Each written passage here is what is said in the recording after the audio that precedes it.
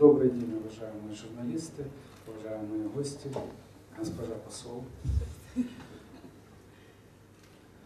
Очень тяжело сегодня говорить о достижениях в тех условиях, в которых сейчас находится Украина.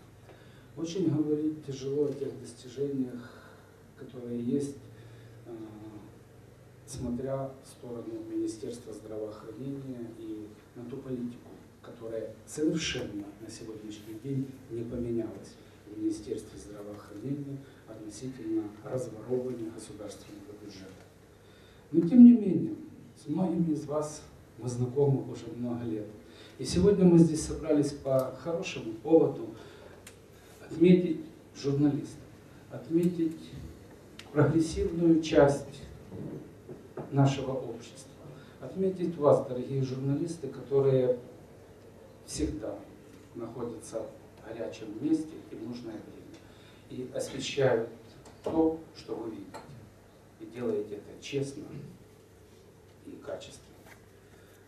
Я помню, когда вот в зале сидит Лайма Гедедар, она когда-то была нашим пиар-менеджером на этапе становления нашей организации.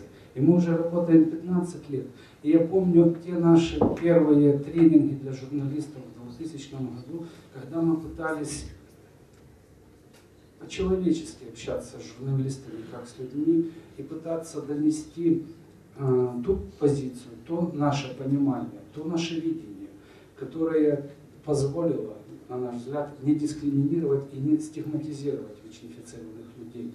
Мы помним, в конце 90-х годов, в начале 2000-го не было другого месседжа от журналистов, кроме как спит чума 20 века и проецирование своих страхов в наше общество.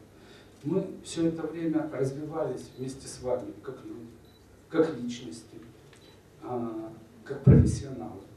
И мне очень приятно сегодня находиться здесь с вами и поздравлять символическим награждением всех вас, журналистов, в лице лучших из вас, которых выбрала комиссия. Спасибо большое, что вы с нами. Спасибо, что вы продолжаете освещать важные для нашего общества проблемы. Благодаря вам мы все меняемся. Спасибо.